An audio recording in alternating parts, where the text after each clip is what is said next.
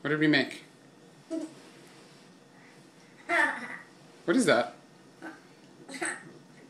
Alright, what, where does it go next? We made the pizza with olives and cheese and sauce, and where does it go next? In the oven. Who's gonna put it in the oven? Okay, you ready? Come on.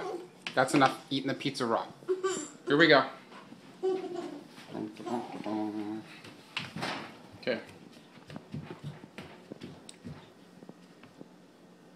Okay, you ready? I'm gonna say, I don't know, what, 400 degrees. Why not? I didn't really research this at all. Into the oven you go. How long do you think it needs to cook for? How many minutes? Ten minutes. 10 minutes? Okay. Let me say 15. Chop. 15 minutes and we'll check it. Okay? That was a weird sound. That came from the oven. Alright, that was a lot of fun. What are you doing over there?